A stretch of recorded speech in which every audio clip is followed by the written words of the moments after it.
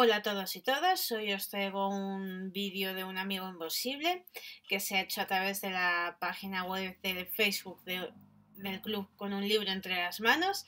Os dejaré el link aquí abajo en la cajita de descripción. Y bueno, pues me venía, me llegó, me llegó así en esta bolsita, que es la más de chula.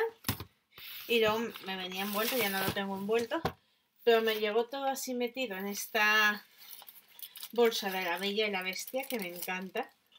Es así por delante con Bella, la Rosa, la señora Pot, Dindon, el castillo detrás. Y bueno, por detrás es así.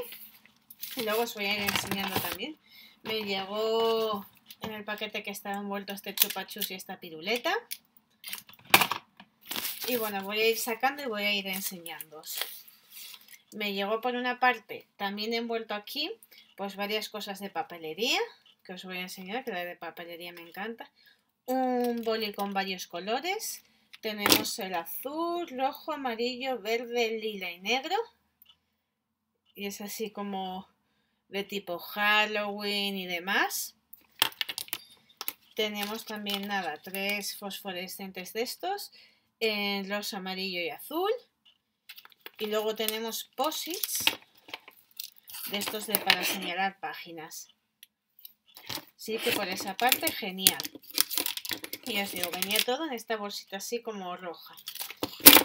Luego por otra parte venía una agenda así envuelta. Es esta así, viene con gomita. Y la verdad es que, bueno, tenía pinta de ser agenda, pero la verdad es que es una libretita con todas las hojas en blanco, con lo cual me viene genial. Y os digo, viene con gomita y viene con marcapáginas. Luego viene con una película que es de película japonesa. Me encanta el manga y es el viaje de Chihiro. Que bueno, que no sé de qué va, pero que seguro que la veré. Dice que Chihiro es una niña de 10 años caprichosa y testaruda que cree que el universo entero debe someterse a sus deseos. Cuando sus padres, Sakio y Yugo, le dicen que tiene que cambiar de casa, se enfurece sin ocultar sus sentimientos. Rumbo a su nuevo hogar, la familia se equivoca de camino y aparece al final de un misterioso callejón sin salida. Allí se llega un edificio rojo con un interminable túnel en el centro que conduce a un pueblo fantasma donde les espera un magnífico banquete. Akio y Yugo se lanzan sobre la comida. Chihiro mira a sus padres, que siguen devorando plato tras plato, cuando de repente son transformados en cerdos. Sin querer, han entrado en un mundo habitado por dioses antiguos y seres mágicos, dominado por la diabólica Yubaba, una arpía hechicera quien le explica a Chihiro que los intrusos los transforman en animales y después los matan para comerlos. Pues tiene muy buena pinta esta película. Luego, bueno, una notita de la de mi amiga invisible, que viene aquí detrás. Y a ver, bueno, trae varios marcapáginas. Uno de este libro.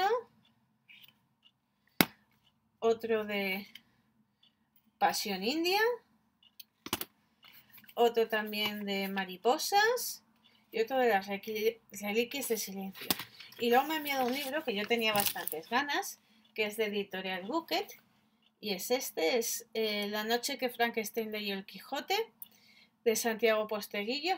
Y bueno, creo que es de relatos cortos y demás, y tenía muchas ganas de leerlo. Así que desde aquí, muchísimas gracias a mi amiga invisible. Y hasta aquí ha llegado el vídeo. Como siempre, espero que os haya gustado, que le deis a me gusta, suscribáis a mi canal y lo compartáis en todas vuestras redes sociales. Y muchísimas gracias por estar ahí.